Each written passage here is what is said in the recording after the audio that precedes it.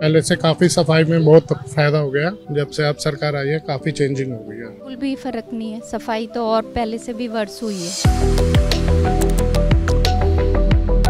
Are के पुरम में तो बहुत बेटर है। और जगह हमें नहीं पता है।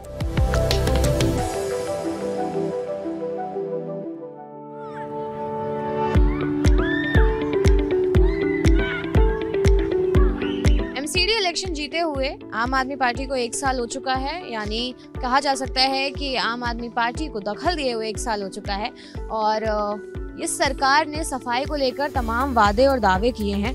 अब ये दावे और वादे जमीनी स्तर पर कहाँ तक आते हैं, ये जानने के लिए हम आ चुके हैं आर के पुरम के एक इलाके में, जहाँ पर काउंसलर हमारे साथ हैं, धर्मवीर सिंह इनका नाम है। इनसे जानने की कोशिश करते हैं कि सफ़ाई को लेकर ये कितने डायरेक्शन दे रहे हैं। आइए हमारे साथ। एक साल हो चुका है और हम देख रहे हैं कि पहले गंदगी बहुत थी। अब हमने क्या नया पहल चलाया कि हर रोज़ फटीक प्रोग्राम चलाते हैं फटीक प्रोग्राम में हम स्वयं आते हैं। स्वयं आने से फ़र्क ये पड़ता है कि जो हमारा सफ़ाई सैनिक है, एक तो मेहनत से काम करता है और उसके साथ अगर हम और खड़े हो जाते हैं तो उसका मनोबल और बढ़ता है और उसका काम करने में मन लगता है और जो जनता को साफ़ सफ़ाई चाहिए वो अब मिल रही है। मेरा डेली का यही रूटीन होता है कि एक बार सुबह और एक बार दोपहर के बाद। पहले सुबह देखते हैं कि कितनी गंदगी है, और दोपहर के बाद देखते हैं कि कितनी सफ़ाई हुई है। तो जब हम दोनों टाइम खुद आएँगे तभी उसका सफ़ाई का ब्यौरा ले सकते हैं कि हाँ भाई, पहले क्या था और अब क्या है। सरकार ये कहती है कि हम लोगों ने जब एमसीडी में आए तो हमारा पहला काम बनता है साफ़ सफ़ाई का।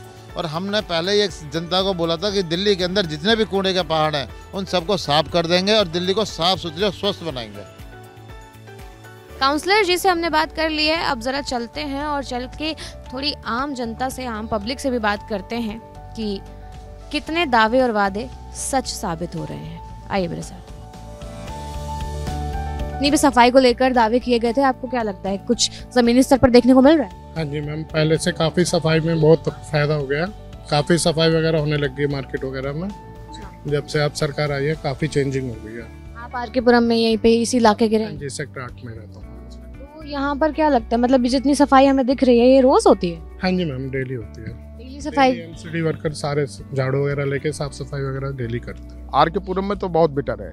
और जगह हमें नहीं पता है लेकिन यहाँ का जो है साफ़ सफ़ाई में दो बार तीन बार जो है झाड़ू लगता है और कर्मचारी जो है चौबीस घंटा समझ लो कि ड्यूटी जो है पर रहते हैं। देखिए हमारे सामने ये गाड़ी भी आई है और यहाँ पर कुछ वर्कर्स भी काम कर रहे हैं। हम पूरी कोशिश करते हैं कि उनसे भी बात करते हैं। अगर वो हमसे बात करने के लिए तैयार हो जाते हैं तो आइए। और जब से आम आदमी पार्टी आई दिल्ली में जब से हमारी सैलरी भी एक तारीख को आ रही है जी। काम में भी कोई दिक्कत नहीं आ रही है मदद दे रहे हैं जैसे टिप्पर भी दे रहे हैं ढेरी उठाने के लिए। और हेल्प भी करा रहे हैं।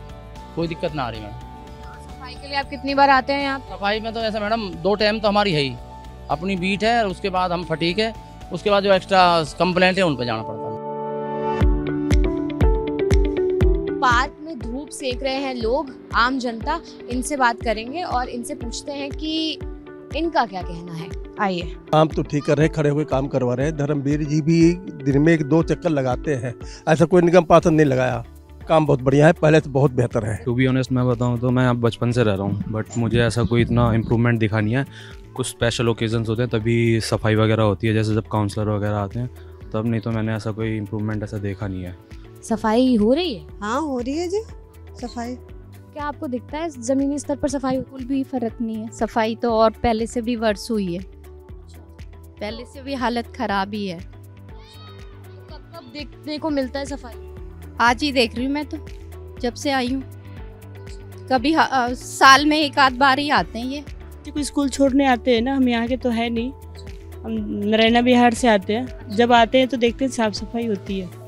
हाँ हाँ जी। देखिए चलते चलाते हम आ गए हैं मार्केट एरिया में क्योंकि मार्केट एरिया में चाय की टपरी भी होती है यहाँ पर दुकानें भी होती हैं दुकानदार भी होते हैं और दुकानों की अपनी समस्याएँ होती हैं गंदगी और सफ़ाई को लेकर के। तो यहाँ पर हमें वो पर्सपेक्टिव भी मिलेगा। आइए चलते हैं शॉप वॉप में घुस जाते हैं कोई बात करेगा करेगा नहीं करेगा नहीं करेगा। नहीं सफ़ाई तो हो रही है लेकिन ऑन रोड तो हो रही है। लेकिन अभी वो बाथरूम वगैरह का था कोई इनका टेंडर वगैरह नहीं हुआ था उसमें थोड़ा सा दिक्कत आ रही थी। लेकिन आज तो वो भी क्लीन हुआ हुआ है देखा है मैंने। वो कहते हैं महापौर ने अभी टेंडर आउट कर दिए हैं वो तो सफ़ाई का काम शुरू हो जाएगा। और ये दुकानों के सामने भी आई थिंक गंदगी होती होगी है ना? आप लोगों का आप लोगों की दोनों टाइम झाड़ू लगता है। सुबह भी लगाते हैं शाम को भी लगाते हैं। और हमें कोई भी दिक्कत नहीं हमारे आने से पहले सफ़ाई हो चुकी होती है। सुबह झाड़ू वाला अपना सफ़ाई करके सामान उठा के ले जाते हैं। क्योंकि मुझे यहाँ पर चाय की दुकान दिख रही है और चाय की दुकानों में चर्चाएँ तो बहुत होती हैं।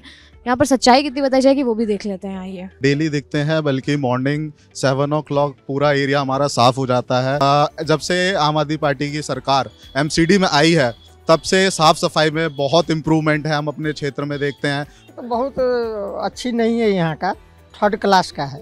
अभी तो कुछ लोग यहाँ पर बैठ के बोल रहे थे कि बड़ी अच्छी सफ़ाई उनको लग रहा होगा जो अच्छी है, लेकिन हमें तो नहीं लग रहा है जो सफ़ाई बहुत अच्छी हो रही है, बहुत यहाँ गंदगी है। तो देखिए, आर के पुरम इलाके में इस वक्त हम आए हुए थे और हमने आपको सुनाया, दिखाया और बताया कि किस तरीके से निगम चुनाव से पहले जो वादे आम आदमी पार्टी ने किए थे, वो ज़मीनी स्तर पर कितने सच होते नज़र आ रहे हैं। कुछ लोगों का कहना है कि सफ़ाई बहुत अच्छी हो रही है, वहीं कुछ का कहना है कि सफ़ाई उतनी अच्छी नहीं हो रही है। तो अब ये है कि उम्मीद करते हैं कि जिस तरीके से लोगों ने कहा है कि सफ़ाई हो रही है, वो आगे होती रहेगी। फ़िलहाल आप देखते रहिए एबीपी लाइव